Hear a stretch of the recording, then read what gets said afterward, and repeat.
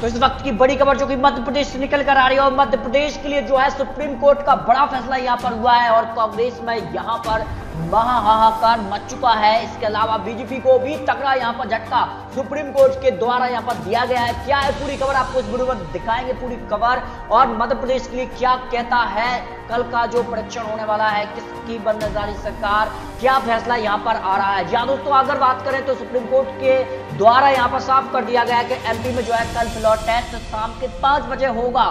तो कौन जीतेगा फ्लोर टेस्ट इसके बारे में भी आपको आंकड़े दिखाएँगे।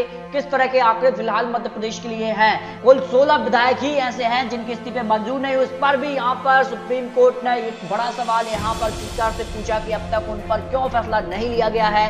अब लेकिन अब जो बड़ा सवाल है और सुप्रीम कोर्ट ने साफ़ कर दिया है कि विधायकों को जबरन या कह सकते फोर्स नहीं किया जा सकता। अगर वो किसी से मिलना नहीं चाहते हैं, वो विधानसभा में नहीं आना चाहते हैं तो कल फ्लॉर टेस्ट हो। इसलिए शिवराज सिंह ने यहाँ पर कहा इस वक्त मैं यहाँ पर सुप्रीम कोर्ट के फैसले के बाद शिवराज सिंह चौहान ने यह बड़ा ट्वीट किया है। इसके अलावा कमलनाथ सरकार संकट में आ सकती है फ़िलहाल, लेकिन कमलनाथ सरकार ये दावा कर रही है कि जो दिग्विजय सिंह है, वो अब 10 मिनट का वक्त यहाँ पर जो 16 विधायक है, उनसे मिलने का मांग रहे हैं। इसके पहले भी जो है दिग्विजय सिंह कोशिश कर चुके हैं और कर्नाटक हाईकोर्ट ने उन्हें तगड़ा झटका दिया था, उनकी जो याचिका थी उसको खारिज कर दिया गया था। लेकिन अब कहीं ना कहीं विधानसभा में कल फ़िलहाल टेस्ट होगा। तो कितने विधायक किसके पास हैं, किस तरह के आंकड़े यहाँ पर जो है मध्य प्रदेश से निकल कर आ रहे हैं? तो एमपी में आप कमलनाथ या फिर शिवराज सिंह कल वापसी कर लेंगे।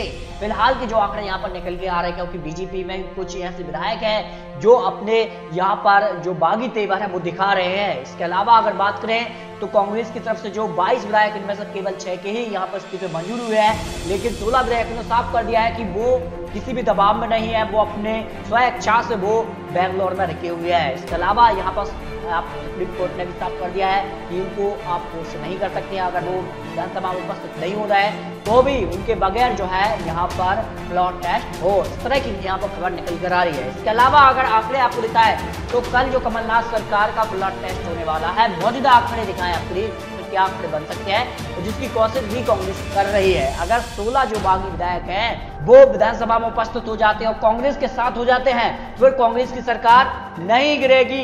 एक तो पंद्रह वोट के साथ कांग्रेस की सरकार बरकरार रहेगी, क्योंकि आंकड़े आपको दिखाएँ तो कुल 206 यहाँ पर सीटें बचती हैं और बहुमत का आंकड़ा होता है 112 और बीजेपी का आंकड़ा जो है, वो है 107 जिसमें एक विधायक यहाँ पर कह नहीं सकते, वो कहाँ जाएँगे? एक छह बचता है, बहुमत का आंकड़ा होता है एक बारह। इस कारण से बीजेपी सरकार बना नहीं पाएगी अगर 16 बागी विधायक कांग्रेस के पक्ष में आ जाते हैं। और इसी को लेकर कांग्रेस लगातार प्रयास कर रही है कि वो किसी भी तरह से जो है कांग्रेस के पाले में आ जाए। लेकिन दूसरा आंकड़ा क्या बन सकता है? देखिए, मौजूदा अगर जो बीजेपी चाह रही कि ऐसा हो और बीजेपी सफल भी रही है, जिस कारण से यहाँ पर सुप्रीम कोर्ट का भी फैसला आया है उसमें साफ़ तौर पर कहा जा रहा है कि आप कोर्ट से नहीं कर सकते, अगर वो नहीं आना चाहते हैं, तब भी उनकी अनुपस्थिति में फ्लोर टेस्ट होना चाहिए। दो सीटें फ़िलहाल मौजूद है और अगर आंकड़े दिखाएँ तो यहाँ पर बागी जो विधायक सोलह है और सीट बचती है 206 बहुमत का आंकड़ा रह जाता है 104 इसके अलावा जो यहाँ पर कांग्रेस का आंकड़ा होता है, वो है 92 प्लस 7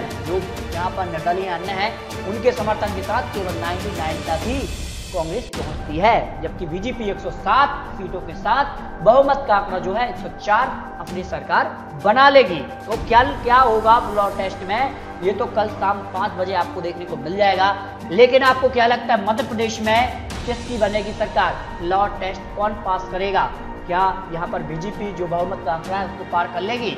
यहाँ पर जो कांग्रेस दावा कर रही है, सरकार में बरकरार रहेगी। अपने राय कमेंट बॉक्स में रखिए और इस तरह की लेटेस्ट अपडेट पाने के लिए चैनल को सब्सक्राइब करना बिल्कुल ना भूलें। एक और नई जानकारी के साथ मिलेंगे। आपका दिन शुभ जय हिंद, जय भारत।